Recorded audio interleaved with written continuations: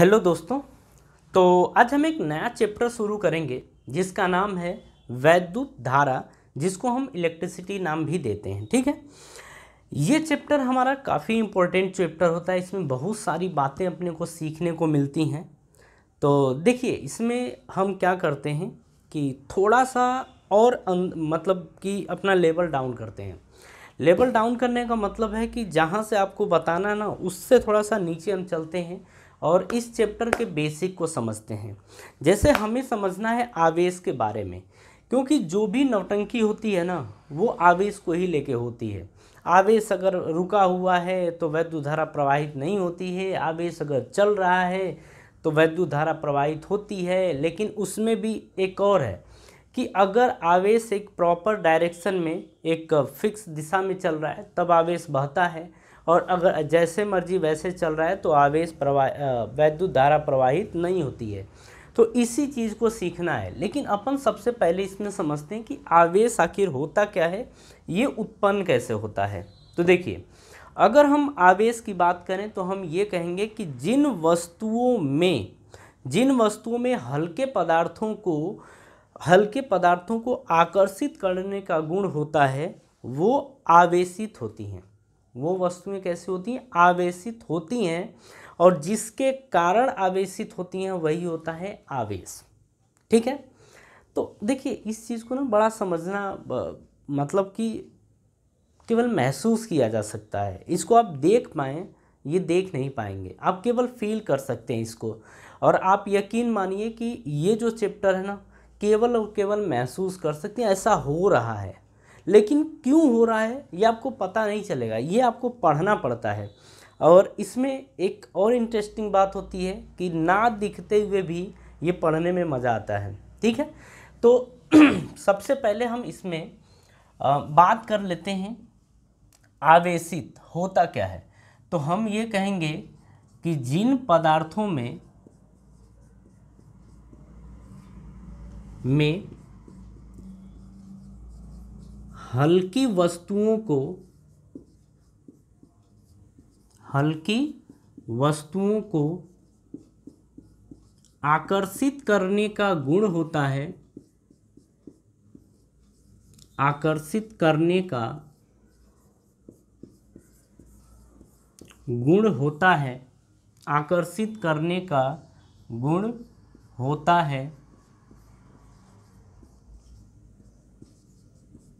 आवेशित कहलाती हैं। आवेशित को अपन बोलते हैं इलेक्ट्रीफाइड सॉरी इलेक्ट्रीफाइड या इसी को बोला जाता है चार्ज्ड कहते हैं। ठीक है? देखिए, अगर हम आवेश की बात करें तो कोई भी चीज़ हो, कोई भी वस्तु हो, हर एक वस्तु में आवेश होता है। ठीक है? लेकिन आवेश होता है लेकिन वो उत्पन्न कैसे किया जाता है? मतलब उसको अ, मतलब ऐसे समझिए कि इसके अंदर आवेश है लेकिन इसको एक्टिव कैसे किया जाता है?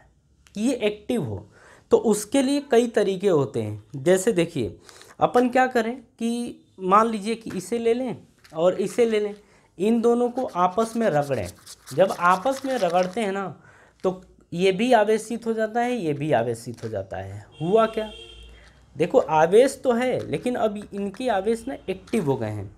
लेकिन इसमें रगड़ने के बाद आखिर क्या हुआ है? तो आप इसमें देखते ये हैं, दिखता नहीं है मतलब एक्सपेरिमेंट के थ्रू देखा गया कि यहाँ पे क्या हो रहा है ना कि इसके कुछ आवेश इसमें चले गए। या ऐसा भी हो सकता है कि इसके कुछ आवेश इसमें चले गए। हमने कहा कि इसमें हमें पता नहीं है।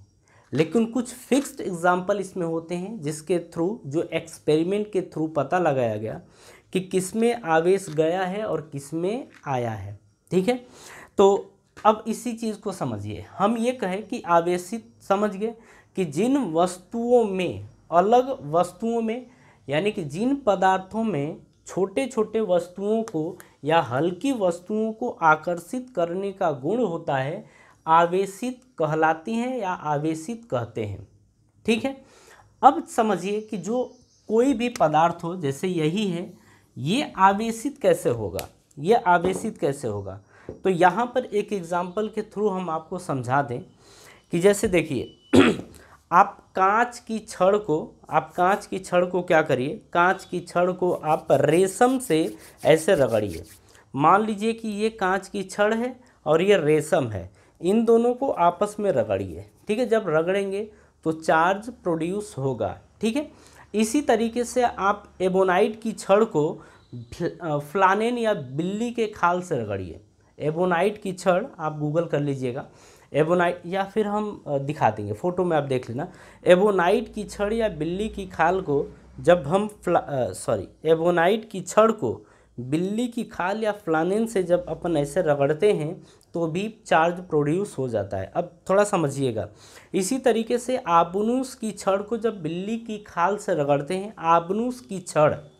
देखिए, यहाँ पे हमने नाम लिया कि एक था आपका कांच की छड़। कांच की छड़ था। एक आपने देखा यहाँ पर कि आबनूस की छड़ है। आबनूस की छड़। हुआ क्या यहाँ पर? हमने एक को रगड़ा रेशम से और एक को रगड़ दिया बिल्ली के खाल से। देखिए, हुआ क्या कि जब मान लीजिए कि इसको हम आबनूस इसको मान लीजिए कि कांच की छड़ है और इसको हमने रेशम से रगड़ दिया, ये आपकी आबनूस की छड़ है, इसको हमने बिल्ली के खाल से रगड़ दिया। तो हुआ क्या कि जब दोनों को पास मिले गए तो दोनों आकर्षित हो गए। दोनों आकर्षित हो गए और आप इस चीज़ को समझिएगा कि अगर सिमिलर टाइप के चार्ज होंगे तो दोनों एक दूसरे को प्रतिकर्षित करेंगे और अलग अलग आवेशित वस्तुएँ होंगी, वो एक दूसरे को अट्रैक्ट करेंगी यानी आकर्षित करेंगी। हुआ क्या यहाँ पे कि ये और ये एक दूसरे को आकर्षित कर रही हैं, इसका मतलब इसमें से कोई ना कोई धनावेशित होगा और कोई ना कोई ऋणावेशित यानी किसी न किसी के ऊपर ऋण आवेश और किसी के ऊपर धन आवेश हुआ होगा। लेकिन लेकिन क्या हुआ? एक्सपेरिमेंट में ये देखा गया कि जो कांच की छड़ है आपकी, जो कांच की छड़ है, वो धनावेशित हो गई है। मतलब उसके ऊपर पॉजिटिव चार्ज उत्पन्न हो गया और आबनूस की छड़ के ऊपर निगेटिव चार्ज उत्पन्न हो गया। तो ये एक्सपेरिमेंट के थ्रू ही देखा गया था। ये एक्सपेरिमेंट के थ्रू ही देखा गया था कि कांच की छड़ पे पॉजिटिव चार्ज उत्पन्न हुआ और आबनूस की छड़ पे निगेटिव चार्ज उत्पन्न हुआ ठीक है? तो आवेशित करने का ये तरीका था कि एक बार हम कांच की छड़ को रेशम से रगड़ दिए दूसरी बार हम आ, क्या किए कि आबनूस की छड़ को बिल्ली के खाल से रगड़ दिए। जब ऐसा देखने को मिला मतलब ऐसा हुआ तो इसके बाद ये देखने को मिला कि इसके ऊपर पॉजिटिव और इसके ऊपर निगेटिव चार्ज उत्पन्न हो गया ठीक है? अब जरा ना इसी चीज़ को आगे समझिए। इसी चीज़ को हम फिर से समझते हैं, देखिए। और एक अच्छा एक बात और है कि ऐसा नहीं होता है कि हम किसी से कुछ भी रगड़ दें तो वही वही उत्पन्न होगा। अगर हम कांच की छड़ से किसी और चीज़ को रगड़ते तो हो सकता है कि कांच की छड़ निगेटिव हो जाए और वो पॉजिटिव हो जाए।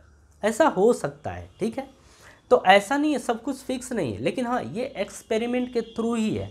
ऐसा देखिए, आप खुद देख रहे हैं कि ऐसा हम दोनों को रगड़ रहे हैं तो क्या पता चल रहा है कि किसके ऊपर पॉजिटिव और किसके ऊपर निगेटिव है। ऐसा तो कुछ पता ही नहीं चल रहा है। तो ये सब एक्सपेरिमेंटल डाटा होंगे। तो इसमें आप कुछ भी नहीं कर सकते। आपको जो भी बताया जाएगा, वो बस आपको समझना है। ठीक है? चलिए, अब आगे इसमें समझते हैं। देखिए, अब हम बात करते हैं आवेश के प्रकार की। आवेश के प्रकार यानी हम बात कर रहे हैं type of charge type of charges के बारे में। देखिए, जब हम बात कर रहे हैं चार्ज के बारे में, यानी आवेश के टाइप के बारे में तो एक होता है आपका धनावेश, एक होता है धनावेश, जिसको हम बोलते हैं पॉजिटिव चार्ज जिसको पॉजिटिव चार्ज बोला जाता है। ठीक है? और इसको आप ऐसे भी लिख सकते हैं पॉजिटिव चार्ज इससे भी देखा है मतलब डिनोट किया जाता है। एक होता है आपका ऋणावेशित चार्ज यानी कि जिसको ऋणावेश बोलते हैं। एक होता है आपका ऋणावेश, जिसको हम बोल देते हैं निगेटिव चार्ज नेगेटिव चार्ज हम ये बोल देते हैं। और इसको दिखाया जाता है इससे। ये हो गया आपका निगेटिव चार्ज ठीक है? तो अगर हम आवेश की बात करते हैं तो आवेश को दो कैटेगरी में डिवाइड किया गया है, एक पॉजिटिव चार्ज दूसरा निगेटिव चार्ज ठीक है? पॉजिटिव चार्ज को आप ऐसे दिखाएँगे निगेटिव चार्ज को आप ऐसे दिखाएँगे। ये भी डिनोट करने का एक तरीका होता है, ठीक है? अब ये समझते हैं कि पॉजिटिव चार्ज कब उत्पन्न होता है और निगेटिव चार्ज कब उत्पन्न होता है। तो देखिए, जब आवेश एक वस्तु से दूसरी वस्तु में जाती है तो हमने कहा, जैसे इसको रगड़ा आवे इन दोनों को रगड़ा, ये ए है, ये बी है। आवेश क्या हुआ? जो इसके अंदर बहुत सारे आवेश थे, उसमें से आवेश इसकी तरफ़ गए हैं। ठीक है? जब जिसमें से आवेश निकलता है, वो पॉजिटिव होता है और जिसमें जाता है, वो निगेटिव होता है। कमाल की चीज़ यहाँ पर है। तो हम ये कहेंगे कि अगर इसमें से आवेश ऐसे गया है मतलब हम चार्ज की बात कर रहे हैं, इसमें से इसमें गया है तो हम ये कहेंगे कि ये कैसा होगा? निगेटिव ये सॉरी पॉजिटिव होगा। तो हम ये कहेंगे कि जिससे आवेश दूसरी वस्तु पर जाता है, दूसरी वस्तु पर जाता है, वो क्या होता है? पॉजिटिव चार्ज और जिस पर जाता है, अपन ये कहेंगे कि अगर ये निगेटिव है, ये बी वाला निगेटिव हुआ तो इसका मतलब ये कहेंगे कि जिस पर जिस पर आवेश जाता है, जिस पर आवेश जाता है, वो कैसा होता है? निगेटिव बात समझ में आई? तो पॉजिटिव निगेटिव का तो कॉन्सेप्ट आपको समझ में आ गया। इसके बाद अब बात करते हैं कि जो पॉजिटिव चार्ज और निगेटिव चार्ज हैं, इनका नेचर कैसा होता है? अगर एक दूसरे के करीब लाते हैं तो इनका नेचर यानी कि प्रकृति कैसी होती है? तो अब हम इनके प्रकृति के बारे में बात कर लेते हैं। यानी आवेश की प्रकृति। यानी हम बात करने वाले हैं नेचर ऑफ़ चार्ज के बारे में। नेचर ऑफ़ चार्ज, यानी आवेश की प्रकृति, इसके बारे में। समझिएगा, अगर कहें यहाँ पर कि समान प्रकृति के आवेश हैं, हम कहेंगे समान, अगर समान प्रकृति के आवेश हैं तो समान प्रकृति के आवेश हैं कहने का मतलब कि अगर पॉजिटिव और ये पॉजिटिव पास में आ जाए, निगेटिव निगेटिव पास में आ जाए। तो अगर पॉजिटिव पॉजिटिव और निगेटिव निगेटिव पास में आते हैं तो यहाँ पर होता है प्रतिकर्षण। क्या होता है? प्रतिकर्षण, जिसको अपन बोलते हैं रिपल्सन। इसको हम बोलते हैं रिपल्सन। ठीक है? अगर यहीं पे विपरीत प्रकृति के आवेश हैं विपरीत प्रकृति। अगर विपरीत प्रकृति के आवेश हैं, कहने का मतलब कि एक पॉजिटिव दूसरा निगेटिव या दूसरा निगेटिव और एक पॉजिटिव तो जब विपरीत प्रकृति के आवेश होंगे तो यहाँ पर होता है आकर्षण। आकर्षण, जिसको बोलते हैं अपन अट्रैक्शन जिसको हम बोल देते हैं अट्रैक्शन बात समझ में आ रही है? तो यहाँ पर हम क्या बोलते हैं कि समान प्रकृति के अगर आवेश हैं तो रिपल्सन यानी प्रतिकर्षण होता है। विपरीत प्रकृति के आवेश हैं तो वहाँ पर क्या होगा? आकर्षण यानी अट्रैक्शन होता है। कहानी समझ में आ रही है? तो देखिए, ये बेसिक बेसिक सी बातें होती हैं, ठीक है? इसे आपको बस ध्यान रखना है कि ऐसा होता है। अब ज़रा इसके बाद अपन समझ लेते हैं कि जो चार्ज होते हैं, वो कितने तरीके से प्रोड्यूस किया जा सकता है। देखिए, ये आपके बुक में अभी जितना हम बता रहे हैं, उतना है नहीं। ये आपको पहले ही पढ़ा दिया जाता है। मतलब जब छोटे होते हैं, क्लास सेवेंथ, एट्थ में मतलब सिक्स सेवेंथ, एट्थ में, उसी टाइम ये कुछ बातें आपको सिखा दी गई होती हैं। लेकिन अपने को याद कहाँ रहता है, ना? याद नहीं होगा। लेकिन वही चीज़ हम आपको बता रहे हैं। एक्चुअल में देखिए, कारण ये है ना कि अगर ये हम आपको नहीं बताते तो हो सकता है कि कुछ बच्चे ऐसे हों जिनको न पता चले। लेकिन अब जब बेसिक्स आप चीज़ों को सीखेंगे तो आप ज़्यादा अच्छे तरीके से समझ पाएँगे, ठीक है? देखिए, क्या होता है कि जो हम आज के समय की बात करें, आप बहुत पढ़ने में अच्छे मतलब बहुत आपके मार्क्स अच्छे नहीं आ रहे हैं। ये बहुत ज़्यादा डिपेंड नहीं करता है आपके फ्यूचर को लेके। लेकिन क्या होता है ना कि आपको चीज़ें सीखनी होती हैं। और जब आप चीज़ों को सीखते हैं, समझते हैं तो मार्क्स अपने आप आ जाते हैं। बात समझ में आ रही है?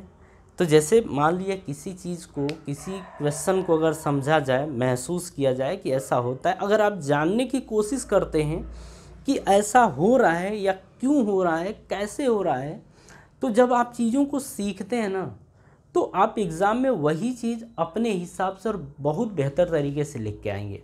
तो आपके मार्क्स अपने आप इम्प्रूव हो जाते हैं। लेकिन आप चीज़ों को सीखने की कोशिश करिए। आप देखिए, मैं बताऊँ आपको, आज के समय में अगर हम एक बात करें कि गवर्नमेंट जॉब गवर्नमेंट जॉब तो कोई ज़रूरी नहीं है, ठीक है? गवर्नमेंट जॉब से आप किसी के यहाँ नौकरी कर सकते हैं, खुद का एम्पायर खड़ा नहीं कर सकते हैं, ये दावा है। आप ऐसा नहीं कर सकते आप। तो आप क्या करिए, आप चीज़ों को सीखिए, सीखने के बाद उसे अप्लाई करिए। जब ऐसा आप करेंगे तो धीरे धीरे आपकी आदत बनेगी और आप एक दिन चल के बहुत ही अच्छे आ, मतलब कि ज्ञानी पर्सन बनेंगे। उस दिन आप जब समाज के अंदर उतरते हैं तो आप बहुत अच्छा परफॉर्मेंस करते हैं। ठीक है? अगर आपको सरकारी नौकरी नहीं मिल रहा इसका मतलब आप अज्ञानी नहीं हो लेकिन आप ना कुछ बड़ा करने की नहीं सोच रहे। आप बड़ा करने की सोचो ना। खुद की दुनिया बनाओ। बात समझ में आ रही है? तब जाके आप बहुत बड़े आदमी बनोगे। मतलब अगर करोड़ों अरबों खरबों का सपना अगर आप देख रहे हो तो आपको ऐसे मूव करना होता है। ऐसे नहीं। ठीक है? ऐसे नहीं।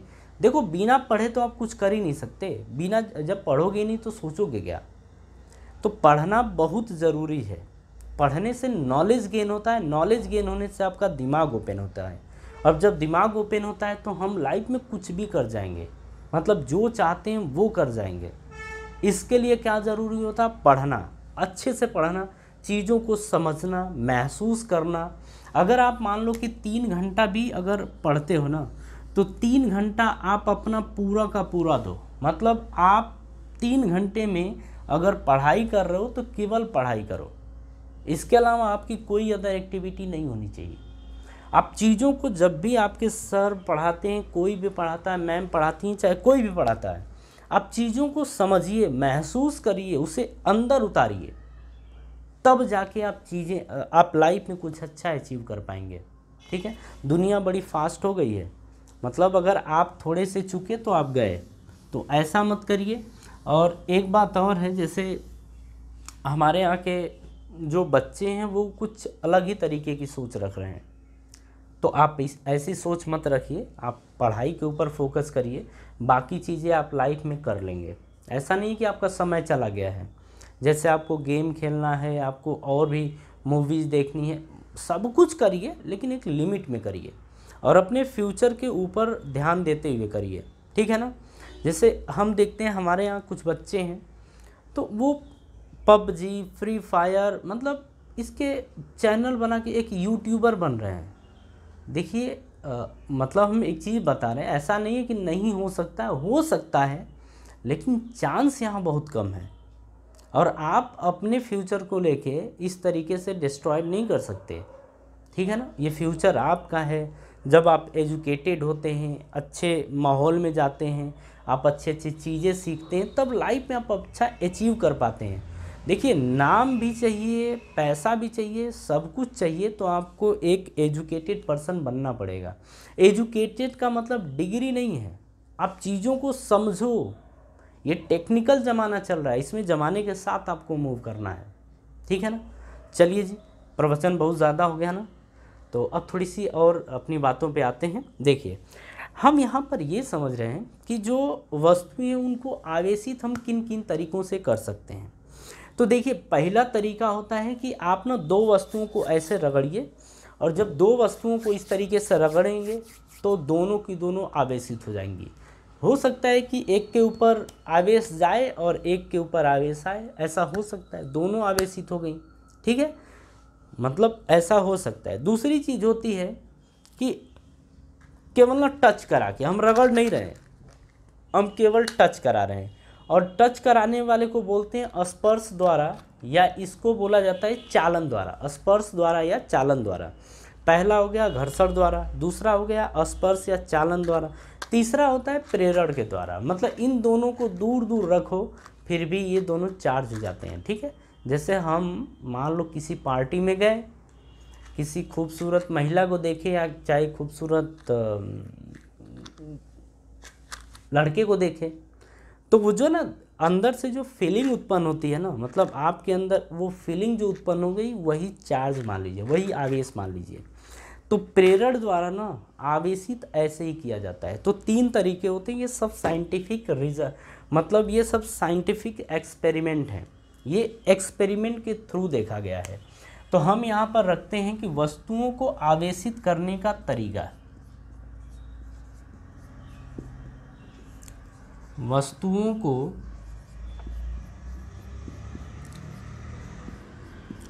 आवेशित करने का तरीका। देखिए, पहला है घर्षण द्वारा। हम दो वस्तुओं को या वस्तुओं को हम घर्षण द्वारा आवेशित कर सकते हैं या चार्ज कर सकते हैं, ठीक है? तो हम ये लिखेंगे कि charging by charging by friction, यानी फ्रिक्शन द्वारा वस्तुओं को आवेशित करना। दूसरा हमारा है यहाँ पर स्पर्श द्वारा सॉरी स्पर्श द्वारा, या इसी को बोलते हैं अपन चालन चालन द्वारा, स्पर्श द्वारा। इसको बोलते हैं charging by conduction. Charging by conduction, ये बोला जाता है। ठीक है? तीसरा होता है हमारा प्रेरण द्वारा। प्रेरण द्वारा, इसको बोलते हैं हम charging by charging by induction. तो चार्जिंग बाई इंडक्शन ये होता है। तो आप ये समझ गए कि वस्तुओं को हम तीन तरीके से आवेशित कर सकते हैं। घर्षण द्वारा, यानी चार्जिंग बाई फ्रिक्शन स्पर्श या चालन द्वारा चार्जिंग बाई कंडक्शन या प्रेरण द्वारा चार्जिंग बाई इंडक्शन इस तरीके से हम वस्तुओं को आवेशित कर सकते हैं। ठीक है? चलिए, ये तो समझ गया। अब चलिए इसके बाद अपन ना देखते हैं कि वैद्युत धारा क्या होती है। अच्छा उसके पहले हम थोड़ी सी चीज़ें आपको और समझा देते हैं। ठीक है? चलिए समझिए। जैसे किसी भी वस्तु की बात कर लीजिए, किसी भी वस्तु की बात करें तो हर किसी वस्तु के पास आवेश होता है। ठीक है? किसी में फ्री होता है मतलब एकदम लखैरे होते हैं, और किसी में लखैरे नहीं होते, उनके मम्मी पापा स्ट्रिक्ट होते हैं। आप इस तरीके से समझ सकते हैं, ठीक है?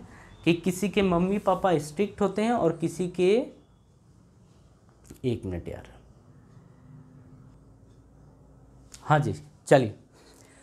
तो हम ये आपसे बता रहे हैं कि जैसे हर वस्तु के पास, जैसे अगर देखा जाए तो इसमें भी आवेश है, इसमें भी आवेश है, हमारे शरीर में भी आवेश है, घड़ी में भी आवेश है, बोर्ड में भी आवेश है, सब में आवेश होता है।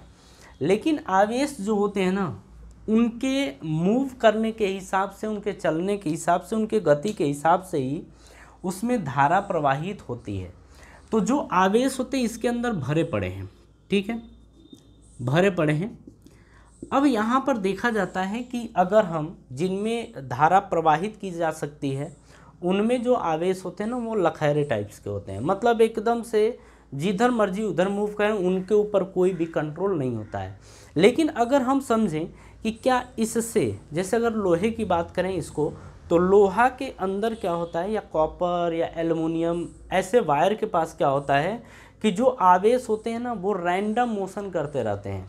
ठीक है? रैंडम मोशन को क्या बोला जाता है? अच्छा ध्यान नहीं आ रहा है, बता देंगे। तो उसके अंदर रैंडम मोशन होता है। लेकिन अगर इसके अंदर बात करें, आवेश तो है, लेकिन इसके अंदर उतने अच्छे से रैंडम मोशन नहीं होता है। इसके अंदर जो आवेश होते हैं ना, वो पैक होते हैं, पैक, वो जा नहीं सकते हैं।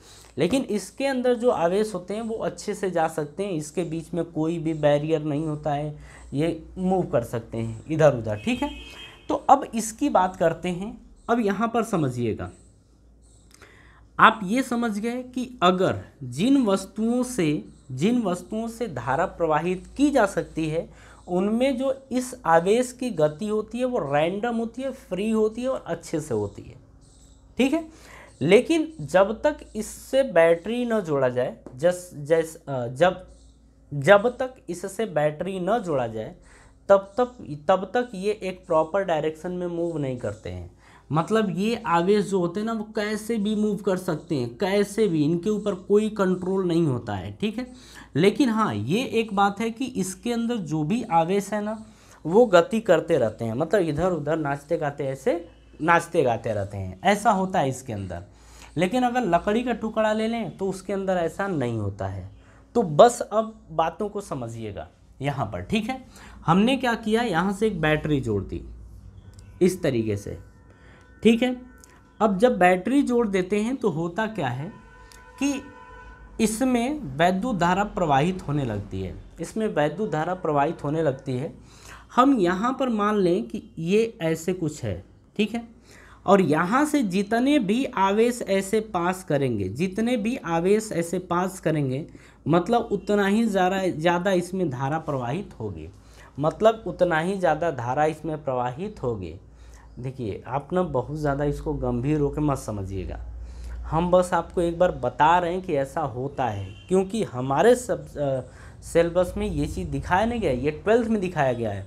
लेकिन कहने का मतलब है कि जब आप चीज़ों को देख पाएँगे, तब तो समझ पाएँगे ना। है कि नहीं? है चलिए, अब आते हैं कहानी पे। हम लिखेंगे कि वैद्युत धारा आखिर होता क्या है? वैद्युत धारा जिसको बोलते हैं इलेक्ट्रिक करंट। Electric current. ये बोला जाता है, ठीक है? अब यहाँ समझिएगा, हम ये कहते हैं कि आवेश प्रवाह की दर को, आवेश प्रवाह की दर को दर को धारा कहते हैं। आवेश प्रवाह की दर को धारा कहते हैं।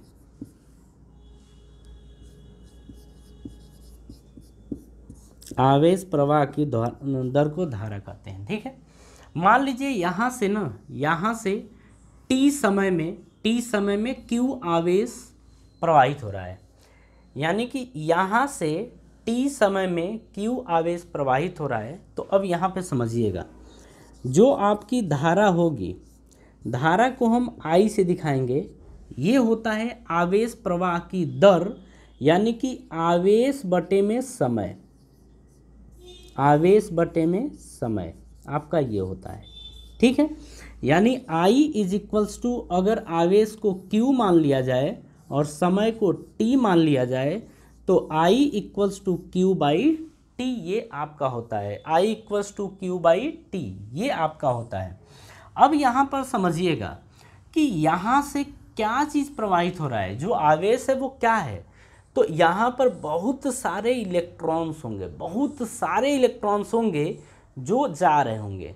तो हम मान लेते हैं इलेक्ट्रॉनों की संख्या एन होगी और एन क्या? इलेक्ट्रॉन एन इलेक्ट्रॉन इलेक्ट्रॉनों की ये क्या है? संख्या और ये क्या है? इलेक्ट्रॉन है। तो यही आवेश होता है। यही एक्चुअल में इसी को क्या बोलते हैं? आवेश बोलते हैं। तो यहाँ पर आप चाहें तो लिख सकते हैं I equals to Q by T और Q के प्लेस पे आप लिख सकते हैं एन ई बाई टी तो आपसे ये क्वेश्चन पूछ सकता है यहाँ पर कि अगर मान लीजिए कि इतने समय में धारा इतनी प्रवाहित हुई तो बताइए कितने इलेक्ट्रॉन यहाँ से गुजरे हैं। इतने समय में कितने इलेक्ट्रॉन गुजरे अगर धारा मान लो कुछ दे दिया हो तो? इस तरीके से ये क्वेश्चन हमसे पूछ सकता है। ठीक है? अच्छा यहाँ पर ना आप ध्यान से अब चीज़ों को समझिएगा। जब इतना बता दिए तो थोड़ा और आगे बता रहे हैं। हम ये समझिए आपका चैप्टर शुरू हो गया है। देखिए, यहाँ पर अगर बात किया जाए तो यहीं पर चीज़ों को समझ लीजिएगा। ये बैटरी का पॉजिटिव टर्मिनल और ये निगेटिव होता है। ठीक है? ये धनात्मक सिरा होता है, ये ऋणात्मक सिरा होता है। छोटा वाला छोटा वाला जो आपका होता है, इसको बोलते हैं ऋणात्मक सिरा। इसको ये बोला जाता है और इस वाले सिरे को बोला जाता है धनात्मक। इसको बोलते हैं धनात्मक सिरा। ठीक है? ये धनात्मक सिरा, ये ऋणात्मक सिरा। अब समझिएगा। जो हम बोल रहे हैं कि जो धनात्मक से या धनात्मक सिरा से जोड़ा होगा ना जो ये आ, कुछ भी तार मान लीजिए तो ये पॉजिटिव ही रहेगा और जो ऋणात्मक वाले से सिरा जुड़ा होगा वो ऋणात्मक रहेगा। तो पॉजिटिव वाले को हम आवेश की नहीं बात कर रहे हम सिरे की भी बात कर रहे हैं। ये हो गया है। इसको बोला जाता है पॉजिटिव वाले को उच्च विभव। उच्च विभव ये नाम देते हैं इसको बोला जाता है हाई पोटेंशियल। High potential. और इसको बोला जाता है आपका निम्न विभव। निम्न विभव, ये नाम दे देते हैं। इसको बोला जाता है लो पोटेंशियल। इसको क्या बोलते हैं? लो पोटेंशियल और इसको क्या बोलते हैं? High potential. ठीक है? तो ये चीज़ समझिएगा कि पॉजिटिव वाला बड़ा वाला होता है और निगेटिव वाला छोटा वाला। पॉजिटिव से जो इस तार का सिरा जुड़ा होगा, वो पॉजिटिव यानी कि हाई पोटेंशियल उच्च विभव, और जो निगेटिव वाले से सिरा जुड़ा हुआ, उसको निम्न विभव या निगेटिव पोटेंशियल या लो पोटेंशियल ये नाम दिया जाता है। ठीक है? बात समझ में आ गई? आगे की ज़रा अब कहानी समझिएगा यहाँ पे।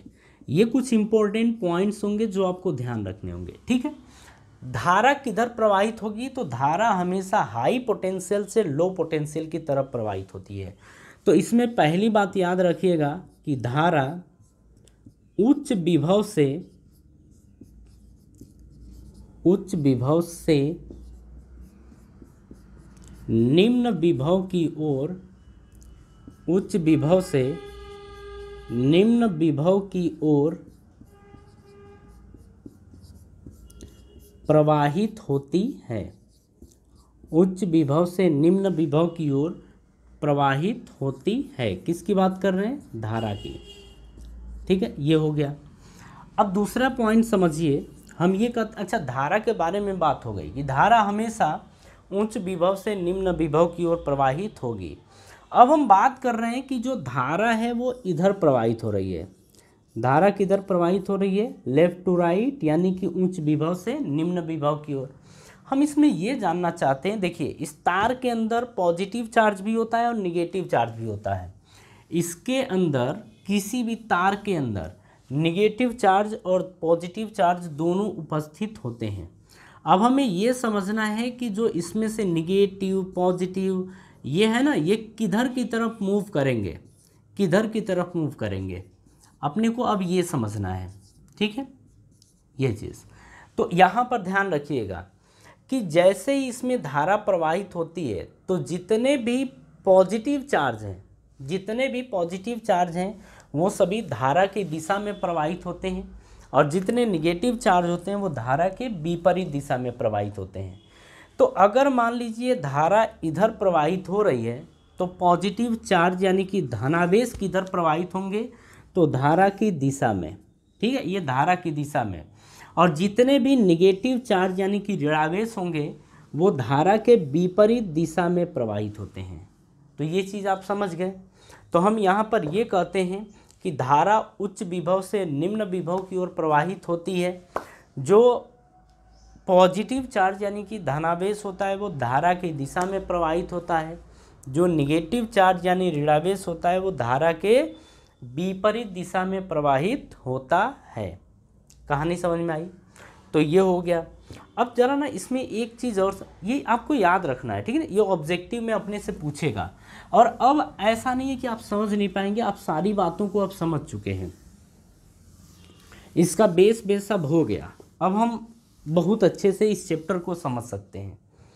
देखिए, इसके बाद हम बात करें ज़रा तो अभी हमने देखा था कि I is equals to Q by T होता है, या इसी को बोल सकते हैं एन ई अपॉन टी यहाँ पर एन क्या है? यहाँ पर इलेक्ट्रॉनों की संख्या।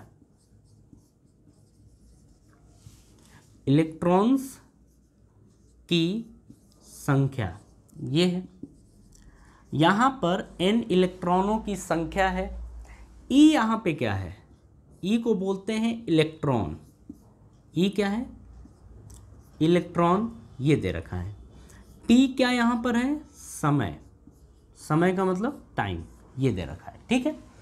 अच्छा यहाँ पर ध्यान से समझिएगा। समय को हमेशा हम सेकेंड में दिखाएँगे। किसमें सेकेंड में। ठीक है? इलेक्ट्रॉन जो होता है ना, इसको हम कुलाम में दिखाते हैं।